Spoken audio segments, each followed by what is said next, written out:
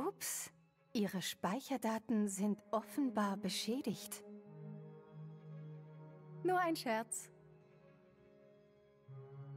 Heute ist der 14. Juli, der Jahrestag der Französischen Revolution im Jahr 1789.